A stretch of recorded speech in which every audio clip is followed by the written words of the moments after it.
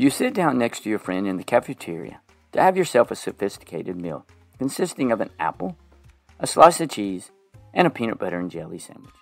Upon taking your sandwich out of its bag, you observe that once again it is soggy. This is the third day in a row you have opened your bag to find a sad and soggy sandwich. The other days, with no more than a little sigh, you resign yourself to your fate and ate your sandwich.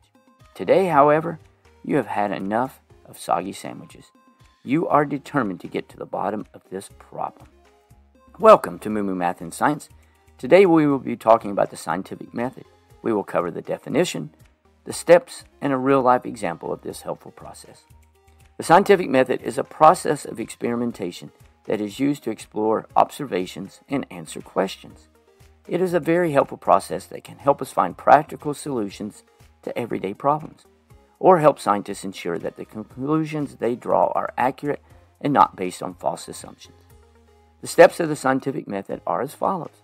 Make an observation and ask a question, conduct research, form a hypothesis, test the hypothesis with an experiment, analyze your data and draw a conclusion, communicate your results. Returning to the case of the soggy sandwich, you have completed the first two steps of the scientific method.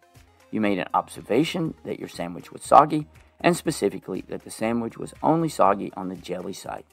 You also asked a question Why is my sandwich soggy? You then decide to conduct research. Research can take many forms, such as trusted scientific journals, online resources, conversations with friends, books, and articles. You start by asking your friends who also eat peanut butter and jelly sandwiches and also go online and discover that most people prefer their PB&J in a solid container. You form a hypothesis, which is a proposed explanation that serves as a starting point for further investigation. You hypothesize that bread gets soggy in bags, but would not in a container. You make a hypothesis.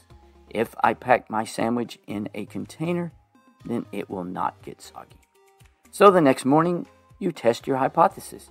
You make your sandwich the same way you always do, but you pack your sandwich in a container instead of a bag, hoping this will serve as a soggy sandwich problem. When you take your sandwich out at lunch, you are dismayed to find that your sandwich is still wet.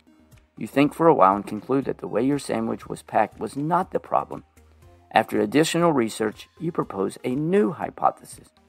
If I put peanut butter on both sides of the bread with jelly in the middle, then my sandwich will not get soggy.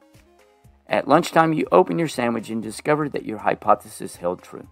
The peanut butter acted as a barrier between the jelly and the bread, which caused the sandwich to not become soggy. Let's review the steps of the scientific method as it relates to our example. Observation. You made the observation that your sandwich was wet on the jelly side, and you asked the question Why is my sandwich soggy? Research. You asked friends about their sandwiches and conducted read articles online. You formed a hypothesis. In fact, you made two hypotheses. The first was that the bag made your sandwich soggy while a container would not.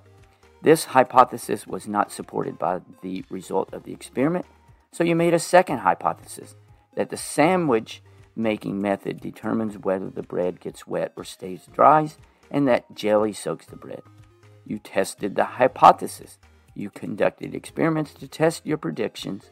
In a true scientific experiment, you would repeat the experiment many times to make sure that your results are accurate. You formed a conclusion. You concluded from running the experiment and observations that peanut butter acts as a barrier and prevents the jelly from making the sandwich soggy. If it was not supported, you would need to repeat the process by forming a new hypothesis and running new experiments. And finally, you can communicate your results to others.